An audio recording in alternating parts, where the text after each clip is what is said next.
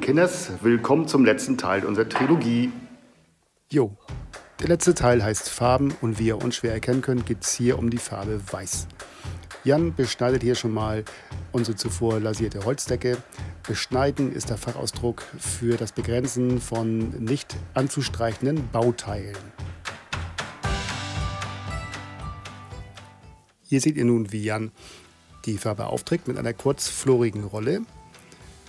Man sollte beim Glattflies immer darauf achten, dass man nicht zu dick die Farbe aufstreicht, sondern mit einer Feinkörnung nachher nochmal verschlichtet. Das sieht wesentlich besser aus, als wenn man so eine dicke Pelle raufzieht.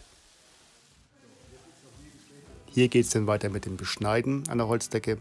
Ich verlinke euch gleich oben nochmal ein Video unseres ersten Teils der Trilogie, Last Renovation, wo wir uns ausführlich mit dem Thema Lasieren auf Holz beschäftigen. Nun nehmen wir euch wieder mit in den Zeitraffer-Modus.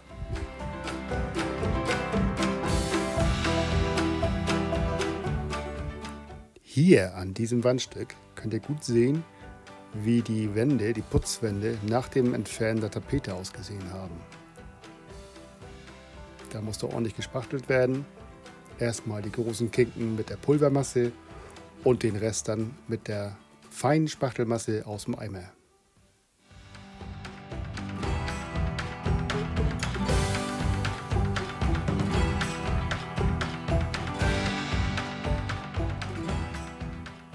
Diese Struktur hier möchte ich euch nicht vorenthalten. So sieht es aus, wenn man einen rundgeriebenen Reibe- oder Rillenputz glatt gespachtelt hat. Natürlich wird die Fläche noch geschliffen, damit sie nachher genauso schön glatt ist wie unser Glattflies. Da seht ihr, wie ich jetzt den Kaminsockel streiche oder gestrichen habe. Wir hatten in anderen Videos, wo wir das Tapezieren erklären, bereits Anfragen, wie wir mit Außenecken umgehen. Da zeige ich euch gleich mal, wie wir an dem Glattflies verfahren. Mit dem Originalton. Also nicht Original Farbton, sondern Original Audioton. Warte, so. Ja.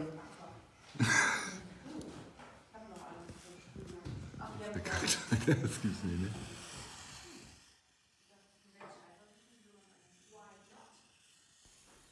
Wenn ihr das ausprobiert, achtet darauf, dass die Klinge relativ gerade gehalten wird und auch der Streifen, der abzuschneiden ist, auf Spannung gehalten wird. Nicht, dass der irgendwie runterlappt, denn gibt es einen Fehlschnitt. Ja, und hier hat Jan schon mal Acryl gemacht am Fenster und zieht gerade das Tesa ab, also Acryl und Anstrich.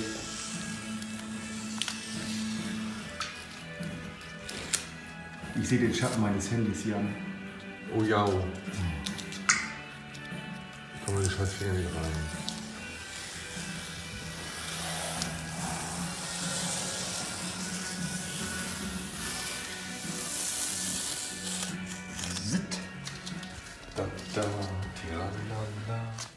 Die kleinen hellen Stellen, die ihr am Fensterrahmen gerade gesehen habt, das sind ältere Stellen, die sind nicht von uns und das Fenster sollte auch noch nicht gestrichen werden. Das würde natürlich dann verschwinden.